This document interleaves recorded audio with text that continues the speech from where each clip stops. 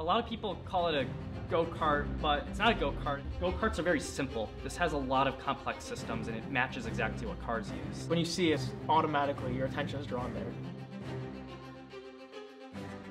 Formula SAE is a club where about 50 students come together of all ages and we build from scratch a Formula One styled race car and then we compete it at the end of year against other colleges around the entire world.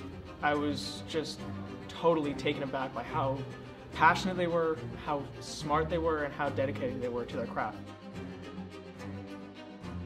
Went from having a bunch of tubes to having a fully drivable car. If a Formula One car was to race on the tracks that we would race, their car would look almost exactly like this.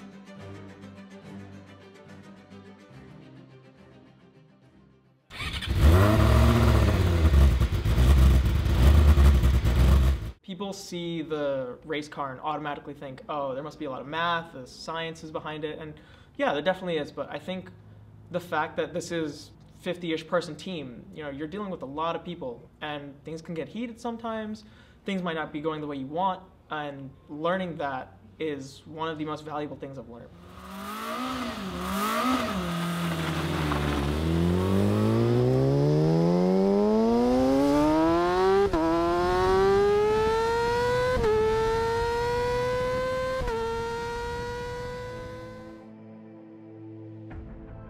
It feels like a family. From day one, uh, the team has totally taken me in, and from internships to schoolwork to you know, your personal life, this, the team is always here to support you. It's not just your ordinary group of friends.